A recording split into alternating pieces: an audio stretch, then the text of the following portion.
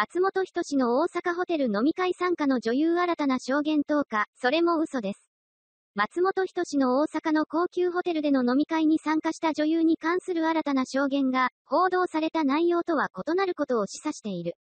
この女優は、自身が誘った元グラビアアイドルのジェイコさんが飲み会に出席したことを明かし、報道における事実と異なる部分があると主張している。彼女は報道された内容に対して、部屋飲みと知っていたら絶対についていかなかった、という主張を否定し、事前にジェイコさんに飲み会について確認し、OK をもらっていたと主張している。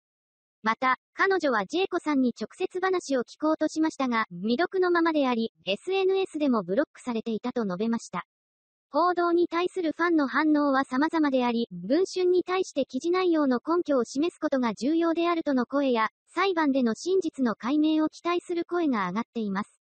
一方で、報道機関の責任や取材姿勢に対する懸念も表明されています。この件に関する証言や裁判の行方は、芸能界や報道機関のあり方に影響を与える可能性があります。真実を明らかにするためには、客観的な証拠や公平な取材が必要であり、報道機関の責任も問われるでしょう。松本人志に関するこの件に対するファンの意見も分かれています。一部のファンは、松本人志の名誉を守るために、報道機関に対してより正確な取材と記事作成を求めています。一方で、一部のファンは、被害者の声を重視し、事件の真相を明らかにすることの重要性を強調しています。このような複雑な状況の中で、真実を追求するための裁判が行われることになります。裁判の結果次第では、芸能界や報道機関に大きな影響を与える可能性があります。真実が明らかにされ、公平な判断が下されることを期待する声が多く上がっています。一方で、報道機関や関係者に対する信頼が揺らいでいる現状もあります。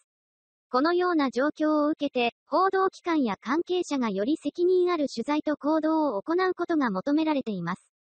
松本人志や関係者、被害者、報道機関、そしてファンたちが真実を求め、公正な判断が下されることを願うばかりです。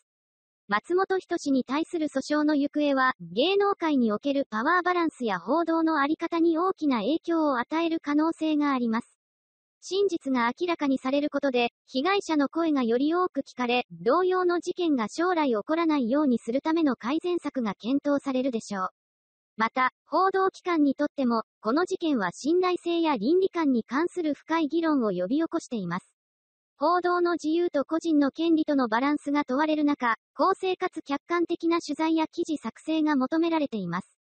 一方で、このような事件が報道されることで、芸能界や報道業界におけるパワーダイナミクスや不正の暴露が促進される可能性もあります。健全な社会においては、不正や権力の乱用に対する監視が重要です。真実が明らかにされるまで、この事件に関する情報を客観的に見極め、公正な判断を下すことが重要です。被害者や関係者の声に耳を傾け、報道機関の責任ある行動を期待すると同時に、松本人志を含むすべての当事者に対して公平な審判が行われることを願うばかりです。